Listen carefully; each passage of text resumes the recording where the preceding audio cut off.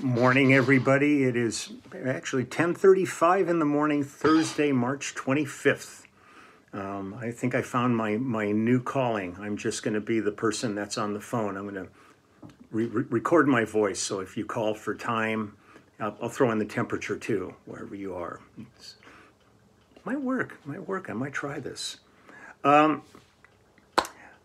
God, it's been a nuts morning. A bunch of th- things going on. Uh, I, I want to uh, announce a couple of things here. Um, hold on. The next live stream for the clubhouse uh, is going to be next Wednesday, the 31st at 3 p.m. Um, we had normally been doing Tuesdays, and on Tuesday at exactly the same time, I have a really major interview that I that I could not change that I have to do. Um, I don't have to do it, but I really I'm compelled to do it. Um, so uh, it's going to be next Wednesday, the 31st at 3 p.m. And the Skype and FaceTime one-on-ones are going to be April 3rd. So April 3rd is FaceTime and Skype one-on-ones. We're, uh, Aaron's opening that up uh, to sign-ins. Uh, that um, today at 3 p.m. on uh, Sirius Channel 27. That's Jim Ladd's channel. He's premiering our new uh, immediate family single, Can't Stop Progress. It's actually being released tomorrow, but he's going to interview, the, the whole band's going to be uh, with him on Zoom. We're going to uh, talk about it and talk about things, uh, and then he's going to be playing the new single. So that's today, um, Thursday at 3 p.m. West Coast time on uh, channel 27, the Jim Ladd channel. Um, and then I was thinking about other things. Um, oh, I, and I just talked to Cliff Jones at LA Vintage Gear, and we're going to um, try for a book signing again. We canceled the last one because COVID was really just terrible. But with the advent of them opening up outdoor, you know, dining and, and a lot of things, um, we're going to do um, the book signing finally uh, on May 1st. It's a Saturday, May 1st. It'll be during the day. And but it's not just going to be a free for all. It's going to be um, temperatures taken, masks required, and uh, and distancing uh, necessary. And we want to play it safe. I don't want to. There's nothing uh, in my life that's worth anybody me being put in danger over. But we're starting to feel like this might be a good time. So we're going to be putting up flyers on it and getting the ball rolling. He still has a bunch of books in, in the warehouse at his place from the last time that we uh, we tucked away, and I'll probably bring more. Um, so that so there's a bunch of stuff going on. So that's May first, and it looks like that's going to happen. And then somebody mentioned something yesterday that I totally forgot about, and I thought I'm going to visit this because it's just too nuts to to pass up. Um, back in the kind of late 60s uh, i was in a, uh, several bands i mean from like 65 to through 69 i was probably in about five different six different bands during that period. Well one of the bands we um, ended up opening up uh, at a club on the sunset strip and i can't remember which club it was at this point. There were so many at this point. But we opened up for the turtles in this club and so and we were like one of these bands we were doing all kinds of covers of beatles and all kinds of stuff. Um, so we uh, we did our set and then we stayed and we watched the turtles play. And it was great. We were going to be there for two nights. So we watched the turtles and, and really enjoyed their show and thought what the hell? So the next day we spent the day rehearsing and we learned the turtles show and so when we came in the second night to play, we played their show. And they weren't there. You know, they they showed up for their show. And so we pretty much nailed it. Our singer totally was unbelievable. He could really mimic anybody. I mean, he was really something. And um, and so we did that, and then they came out and played their show, and they got kind of a lukewarm response compared to the previous night. And we never said anything. Well, years later, I ended up working with um, Howard and Mark when they were Flo and Eddie, and uh, and I talked to them one day, and I said, "Do you happen to remember a gig, kind of in the late '60s, at this club?" And First night rocked, second night, you know, wasn't quite as good. And they went, that was the weirdest night. We couldn't figure out what happened. I said, let me let me tell you a story. And I told them they thought it was the greatest thing in the world. They weren't pissed. They thought it was just the funniest thing they ever heard. Um, but I did a bunch of stuff with Flo and Eddie um, over the years. We did a midnight special, which was really great. And I think James Brown was on the same one. But when we did their thing, they flew them in on wires and they were dressed as angels with giant wings and they were coming down out of the ceiling and stuff. I mean, the stuff they did, like with Zappa and everybody, was just just great. And actually, Howard. Um, uh, Howard Kaylan is in my book. I, I, got a picture of him. I never got a finger from Mark because I hadn't seen him since I started taking the pictures, but Howard I had seen. But somebody mentioned this yesterday, and I pulled it up and went, "God, yeah, I totally forgot about this." So this was a, this was one track. Uh, they they did an album called "Illegal, Immoral, and Fattening," and this was in 1975, and um, so it was you know like all these other players did it, but there was a, a, a one track on it that was like a single on it, and it was myself and Danny Korchmar, um, Aynsley Dunbar, the great drummer Aynsley Dunbar, and Ian Underwood. Uh, Ian Underwood um, was a remarkable player, and um, he, he, was played with the Mothers and all kinds of play. And he ended up doing a number of uh, TV shows that we worked on with Mike Post. He would he got calls to come in and do that stuff too. But uh, I did a few album projects with him.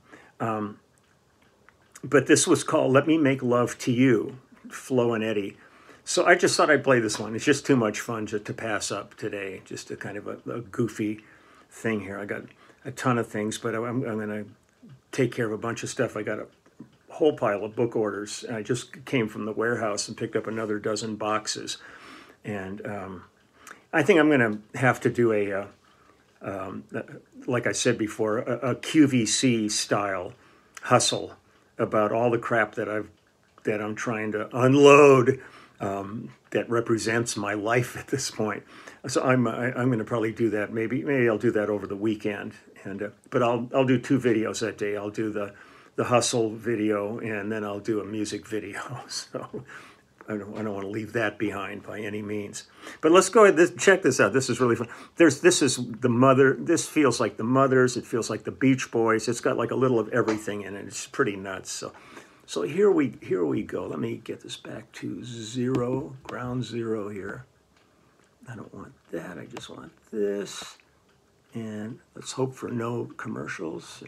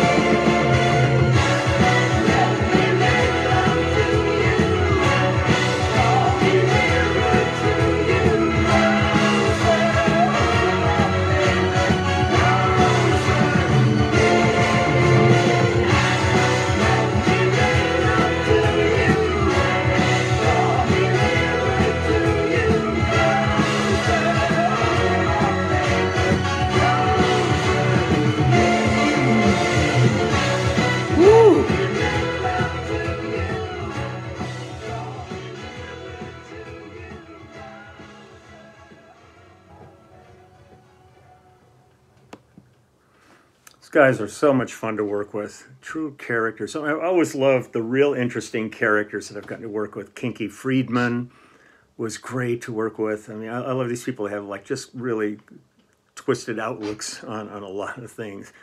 Um, I was such a Mothers fan. I'm such a huge Zappa fan. I used to go to like as many concerts as I could. I remember going to a concert. I think it was at the uh, Anaheim Convention Center, and there was couple of acts like Pablo Cruise and somebody else uh, on the bill. It was really a, a great show. But at one point, the, the mothers are up uh, on stage, and they're playing, and people keep yelling out um, requests at them. And finally, Zappa stops because, come on, let's stop this. So he goes, okay, just a minute to the ice. Goes around, talks to each guy in the band, and goes, and they played all the requests at the same time. Each guy had a different song.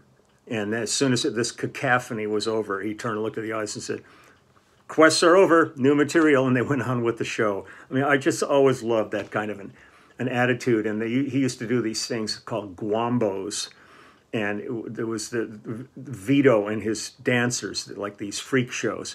And I remember going and seeing them uh, at the Cheetah, which was down in um, Santa Monica, Venice area, out on the pier. It, it, I think it was originally the Avalon Ballroom, and it became the Cheetah. And went and saw those guys there, and it was this unbelievable spectacle, but musically so deep, but just this uh, incredible. Uh, array of, of visuals and stuff on that. Um, and it was real interesting because down underneath that place was a recording, a rehearsal studio called Whale um, Rehearsal. And I think it's Paul Whaley, I think was his name. I think he was the drummer from Blue Cheer.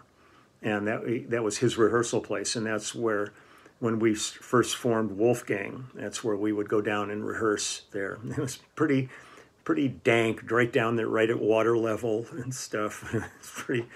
Those days were amazing. Oh God, I was in a band called the Comfortable Chair, and we rehearsed in. They had a band house, and it was Charlie Chaplin's old beach house. And he was really decrepit at this point, it had fallen into ruin. It was long ago. It was bulldozed down, and condos were put up. But all these memories come kind of wafting back. I can I can feel them bouncing around inside my head. There's enough space in there for it to be active. Um, so that's that. I've got to make a couple of calls right now. The pot, the electronic pots on my old carved peace love bass are crapping out. I, I'm going to have to get them in. I'm going to call this friend of mine and see about getting it over to him and have him give the bass a good once through. I'd like to start playing it again on some of these videos, and uh, right now it's just too noisy. It's just it's still the original 62 jazz bass guts in it, and these pots I think are just finally wore out. So I'm going to call uh, this friend of mine and see if he can do it. And he built me an exquisite bass a number of years ago, and I'm having a little grounding issues, so I'm going to see if I can get both basses over to him and have him take a look at it, and um, and then I can start using both of them for these. Um, I'll dig in deeper tomorrow. Um, I've got uh, a couple of things I'm thinking of looking at here. Um, I now I'm I'm going through my list of things because I don't want to be redundant unless it's uh, really purposeful. So I keep looking through, trying to make sure because sometimes I'll do a whole thing and I'm all ready to go and I go, oh, yeah, this will be great, and then I roll through and I go, Christ, 200 videos ago I talked about this. So I'm trying to trying to monitor it now a little bit better.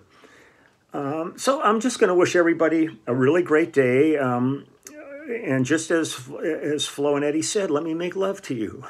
wow, wow. Um, so 3 p.m. today, uh, Pacific time, Jim Ladd's show on channel 27 on Sirius XM.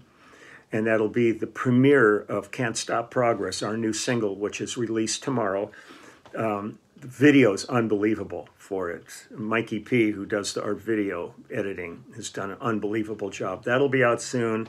The EP will be out soon, and then late August, the actual album that was supposed to be out last November will be coming out.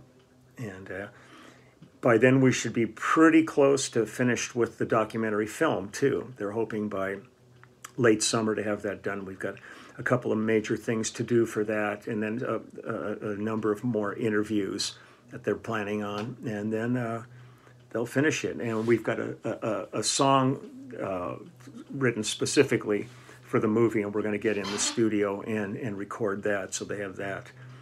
So lots going on. So I'm going to wish everybody a wonderful day. Have a great one. Be safe. Be safe. Be safe. God, please. Um, and uh, and as always, thank you to everybody working their butts off, trying to keep people safe. You know, keep the world rolling, keep things functioning. There's still so much bullshit out there going on, and uh, you know, I, I want it to end. I want to be able to come play live music for people. I want to be able to travel to other places and and and share what we do. And it's still not possible. It's still not safe. So um, I'm going to continue this. So take good care. Now remember, uh, live stream is next Wednesday, 31st, 3 p.m. So I will talk to you tomorrow, and we'll figure out something else what to do. And again, off to a second year. I'm loving it. Okay, take care. Bye bye.